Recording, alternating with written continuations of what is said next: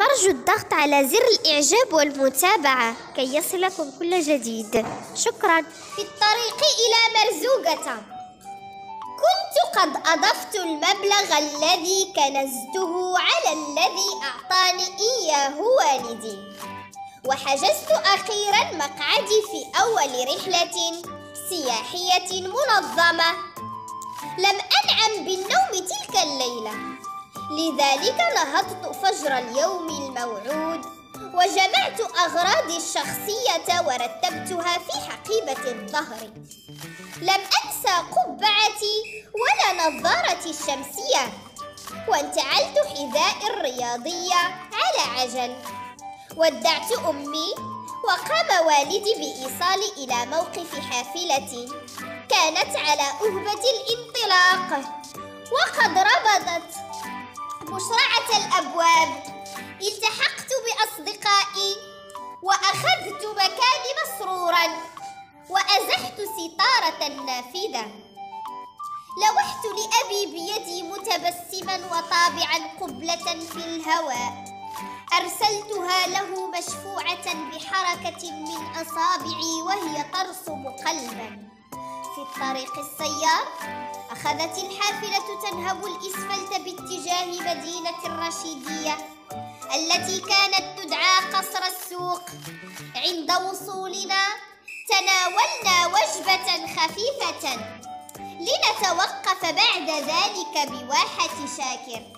وهناك التقطت صورا تذكارية قرب الساقية أشرب من مائها العذب.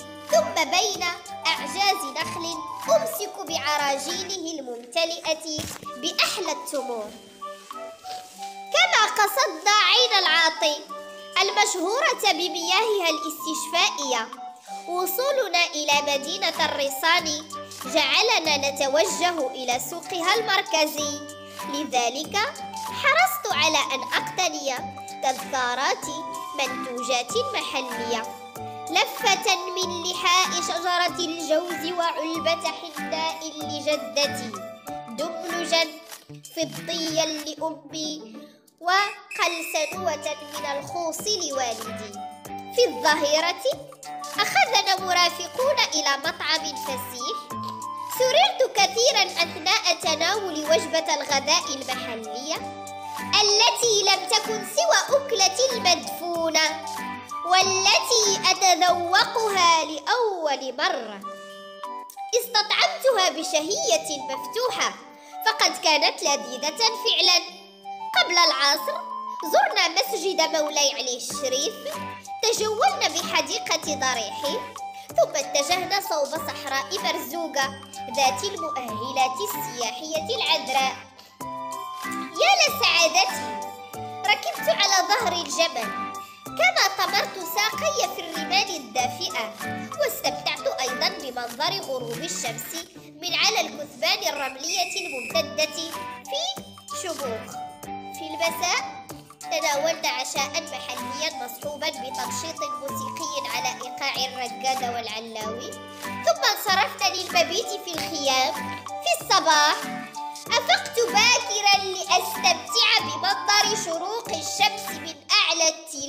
الرملية وبعد ساعة حملتنا الحافلة إلى تعاونية لتربية الجمال وهناك شربت حليب النوق حتى ارتويت لنركب الحافلة. بعد ذلك في طريق عودتنا آملين تكرار هذه الرحلة الممتعة.